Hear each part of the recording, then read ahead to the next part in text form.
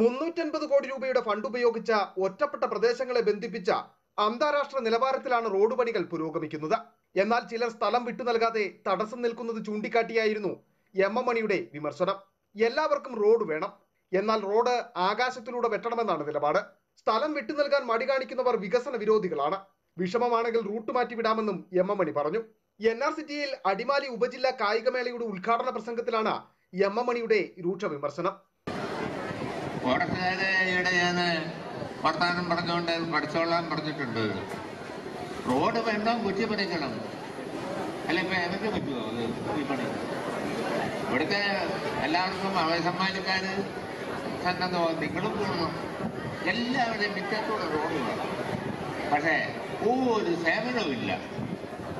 കഴിയുന്നതും ആകാശത്തോട് വെട്ടുകയാണ് വളരെ സന്തോഷമാണ്. അതെങ്ങനെ നടക്കാനാണ്.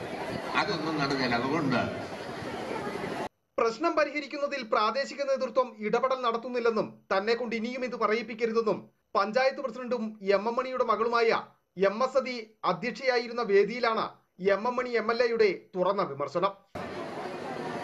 വലിയ വിഷമമാണ് തന്നെ റൂട്ട് മാറ്റാൻ നമുക്ക്. അത് തന്നെ പിന്നെ നിങ്ങളൊക്കെ ഇടപെട്ടത് ശരിയാക്കി കൊടുക്കണം. എന്നെ കൊണ്ട് ഇനി ഇത് പറയിപ്പിക്കാൻ ഇടയാകരുത്. തമാശോടെയല്ല എത്ര റോഡാ?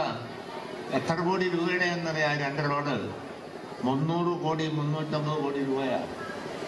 ചെമ്മണ്ണാർ ഗ്യാപ് റോഡ് ഉടുമ്പൻചോല രണ്ടാം മൈൽ റോഡുകൾക്കായി മുന്നൂറ്റി അൻപത് കോടി രൂപയാണ് എം എം മണി മന്ത്രിയായിരുന്നപ്പോൾ അനുവദിച്ചത്. എന്നാൽ വനംവകുപ്പ് മരങ്ങൾ മുറിച്ചു മാറ്റാതെയും സ്വകാര്യ വ്യക്തികൾ സ്ഥലം വിട്ടു നൽകാതെയും തടസ്സം നിൽക്കുന്നത് മൂലം റോഡ് നിർമ്മാണം ഇപ്പോഴും ഇഴയുകയാണ്. ഈ സാഹചര്യത്തിലായിരുന്നു എം എം മണിയുടെ പ്രതികരണം. സന്ദീപ് രാജാക്കാട് റിപ്പോർട്ടർ ഇടുക്കി.